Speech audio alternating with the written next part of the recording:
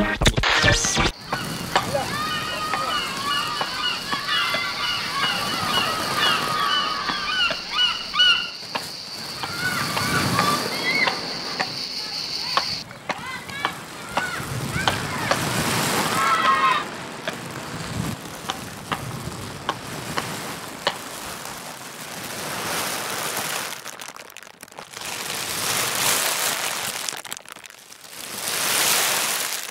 Μπορεί να μην το άκουσες από την πρώτη στιγμή, αλλά το πρόβλημα υπάρχει.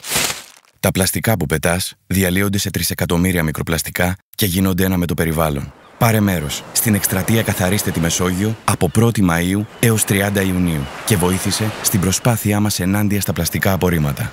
Περισσότερες πληροφορίες στο medsoscleanup.gr και στο 210 8228 795.